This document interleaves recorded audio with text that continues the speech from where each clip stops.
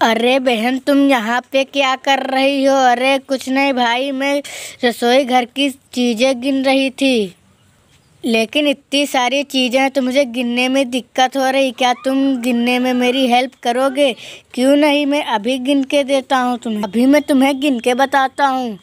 एक, दो, तीन, चार, पाँच, छः, सात, आठ, नौ, दस, ग्यारह, बारह, तेरह, चौदह, पंद्रह, सोलह, सत्रह अट्ठारह अरे बहन, यहाँ पे तो अट्ठारह चीज़ हैं, ठीक है।